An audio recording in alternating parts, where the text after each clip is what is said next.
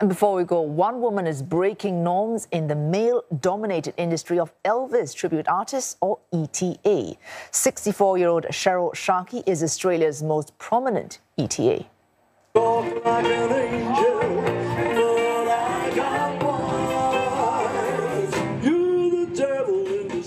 She was recently inducted into the ETA International Hall of Fame, but it has not been easy getting to where she is now especially since she is a woman. Her expertise, vocal strength, a deep voice, and bringing the softer, more feminine side of Elvis to light. Ms. Scharkie hopes to perform in a Ladies of Elvis show with more women ETAs from around the world one day.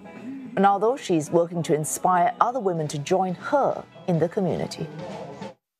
I still get a kick out of um, I'll be in front of an audience and someone you'll you'll spot them. Their, their eyes, they're just, yeah. What's this going to be like? This is a female trying to sing Elvis, and as soon as I open my mouth, their jaw just drops and they go, and then they start getting into it.